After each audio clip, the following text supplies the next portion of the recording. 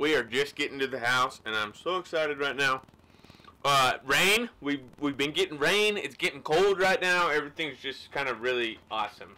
My yellow dog's not quite sure what to do right now, but uh, Liza made us taco soup. Now, nothing to me is better on a cold day than taco soup, and I mean it is freaking phenomenal. If you guys want the recipe, I built a video on it. Just type in maybe uh, Schofield taco soup. I'm not quite sure. I'll try to find it for you. But uh, anyways. Uh, today, in this episode, we're going to go ahead fit up a 3-inch sweep.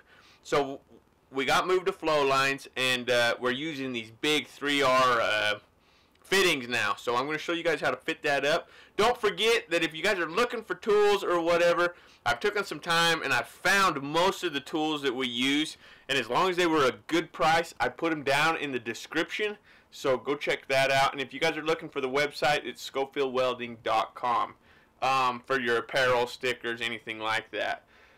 But you guys enjoy as we go ahead. We're going to get this fit up, get it welded together, and hopefully it all makes sense. So everybody be blessed. Have a great rest of your night, and we'll talk to you later. See ya.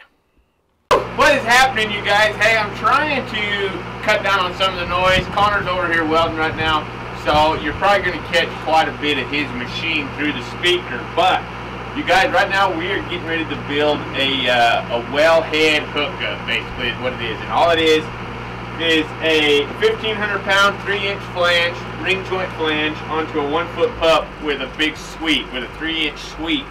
Uh, the takeoffs on those sweeps are like 3 foot. I mean, they're big sweeps. So we're going to show you guys how to kind of get one leveled up and and try to explain it as best we can. Because when you guys get out on the pipelines and stuff, you guys are going to be using 3R fittings. Um, they're going to be big, longer fittings, and, and there's certain ways that will kind of help you guys get one of those fit up to where they're square and everything's about right on them, you know. So uh, me and Jared are going to grab a sweep real quick and get set up in the jacks. We'll see you in just a sec. Alright guys, this is a 3 inch sweep. This is a 90 degree sweep, and uh, it's tying right into this. So what's happening right here is they're digging a ditch, and then this piece so this is going to get attached to a run, all right? And then this piece is going to be sitting up above the ground. When we drill a well, uh, that allows them to come in and start, you know, then they just tie straight into this and, uh, and it allows all that oil and stuff to run down through the flow lines and into the facilities. So you guys remember us building the facilities. That was about a year and a half's worth of building facilities. Right now, we're getting closer to the hole. Uh, so basically, what would happen is they would build the facilities, and then the flow line is going to come in, and they tie the wells into the facilities. So we're the guys that are actually getting the oil from the well into that facility to be processed and then taken care of. All right. So we're going to go ahead and get this thing thrown up in the jacks, and uh, and then go ahead and start fitting this.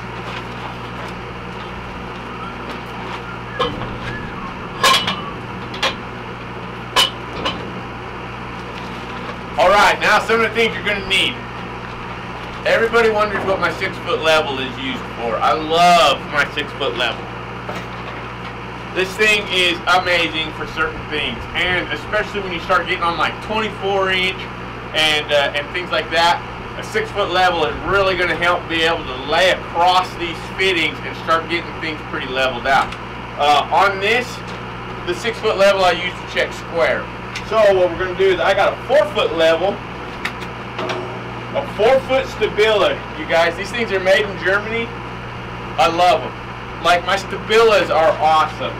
The magnets don't fall out of them. On my little Stabila levels, they're actually screwed into the level. So like you can drop this thing and it's not going to freaking tear out them little round round magnets, alright? Got big bubbles on them. Yep, they got big bubbles on them. They got, I mean, they're just nice, nice levels, and they're built solid. Okay, so we got this thing two-holed. Everything's two-holed. We've leveled the flange, and uh, and now we're going to go ahead and get this thing fit up. Now, I got a little one-footer right here, and that's going to tell me uh, just how squared up on the face I am. You're going to want to make sure your faces are squared up. When you go to fit this thing together, uh, it's going to be kind of a rodeo if it's tilted off. You're to take huge gaps and it's to look freaking weird. So, start kicking some jacks around.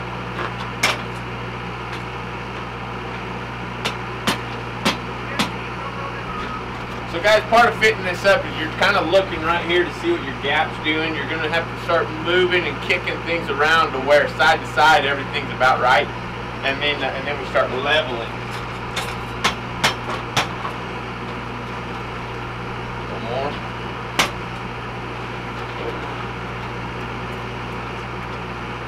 All right.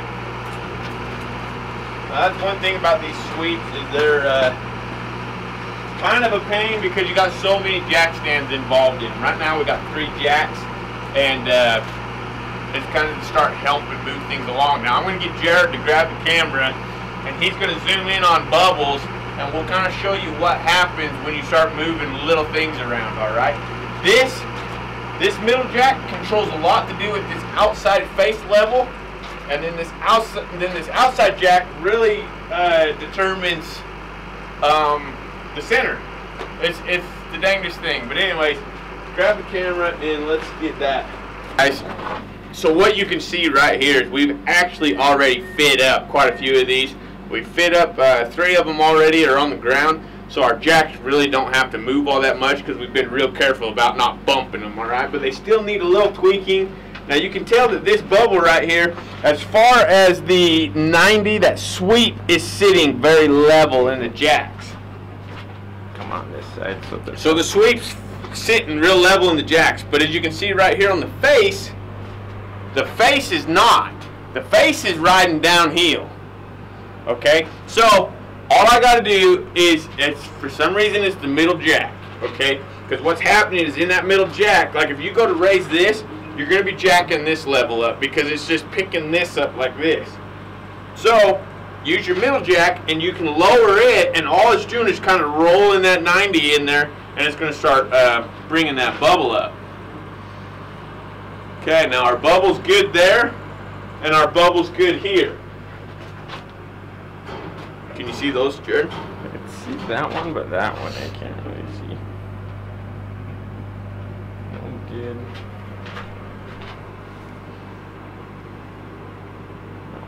Okay. Okay, so as you guys can tell, everything's pretty level. Uh, when you start getting into those big fittings, you guys, this is where uh, getting longer levels um, starts to really help you out. so we're gonna get this fit up real good, and uh, we're gonna go ahead and tack it. So we'll let you guys sit back on the tripod, and we're gonna go ahead and get this tacked, and then we're gonna get this squared up to where it needs to be. All right. All right. 45. Yep.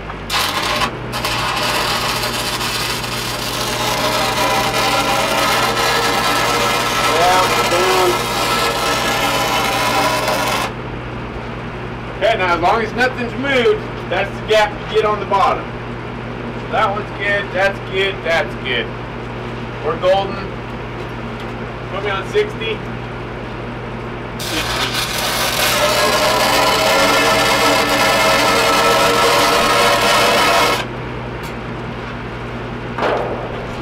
Okay, we're good. So that sweep is two holes these two holes right here.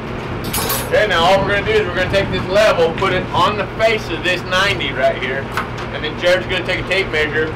Now there's not much to measure off of right here. We got a one foot pup, and that's about it. So we just kind of do our very best to get it as square as we can because when it comes to welding that stick pipe on here, that's what's going to determine just how big your gaps are going to be and how, how much of a pain it's going to be for you.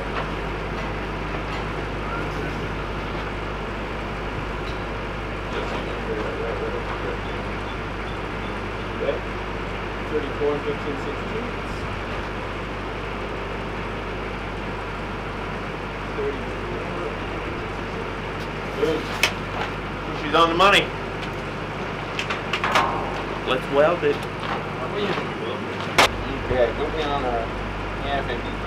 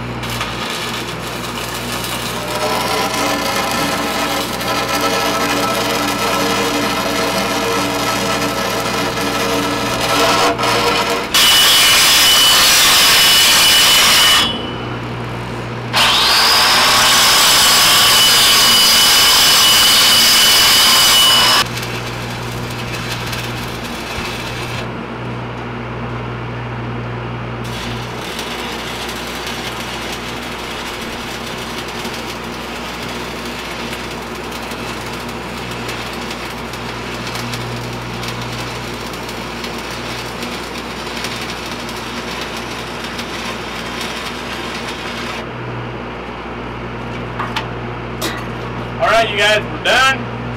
Cap. Hopefully you guys enjoyed it. Hopefully you guys were able to learn something. Everybody, like, subscribe, comment. Thanks for your time. Thanks for hanging out with us.